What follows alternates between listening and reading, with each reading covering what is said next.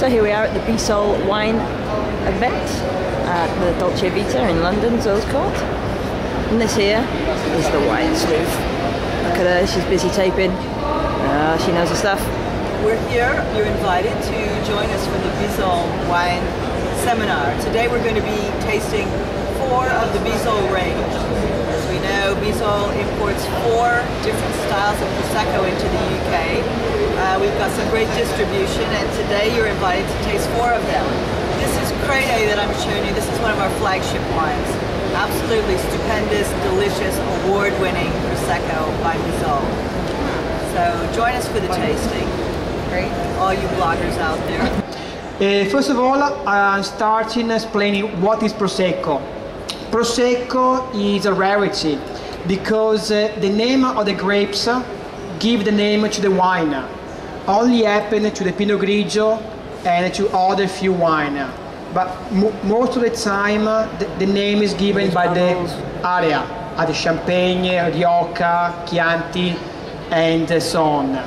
The Prosecco dated back uh, from the 13th, 14th centuries, uh, and it was, it was made uh, for Venice, for the rich Venetian people to be drunk as aperitif, as everyday wine, as 24-7 wine. So, because for the Prosecco, you don't need any reason, an occasion. You only need a cold bottle and a glass. So... Hi, I'm the Wine Sleuth. I'm here today at the Dolce Vita, uh, which is a show about Italian food and wine in Olympia, West London. And I'm with Roberto from Bisol Prosecco. Fabulous stuff. And Roberto's going to tell us a little bit about Prosecco. Roberto, hi. Prosecco is a new cool drink that everybody wants to drink at the moment. Prosecco is the name of the wine and the name of the grapes and the vine. And that's really rare, as you know, in the wine trade. Yeah, especially in Italy, they tend to go for regions, right? Like Yeah, Chianti. everywhere. Champagne, Rioja, Yeah, Bordeaux. Burgundy. But thank God uh, they, we can promote the wine with the vine. So make our job easier. Excellent. Okay. So, wow, tell us a little bit about this Prosecco.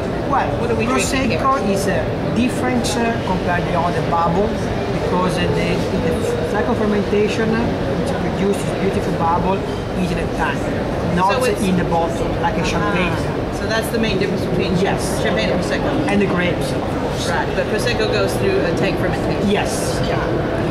And the, what uh, makes this wine so successful, so unique, so great, uh, is the fact that uh, has low acidity, low alcohol, 11, 11.5%, small, fine, elegant bubble. So the low acidity won't hurt your stomach, the bubble won't fill you up your stomach. So you want to enjoy, you want to drink as an aperitif or drink any time of the day, as we say the Bisol. Let's talk about Prosecco, I guess, because that seems to be, apart from we had a Rosso earlier on, that was kind of not very good. Well, don't say that. you, you, you tasted it too. we want these people to invite us back, okay? So, no. I mean, you know, the thing I thought about the Rosso, but what I thought about the um, the rosé was that it was it was very dry. Maybe it was too dry. Rose had no. yeah, uh, it, it didn't have a lot of nose, which I was a bit disappointed. I think. But I think in general, you know, if you want a dry rosé, it was quite good. yeah, I meant the Rosso de Montalcino, which we tried. Oh, the Rosa de was- that was Montalcino. Yeah, no, that was okay. It was Bad. Yeah, yeah we're, we're, we're not we're not going to talk about that. This is nice. This is the uh, what is it? Crede. Oh, this is the middle one. Bring the bottle closer to you. And there you go. No, not that close. There we go.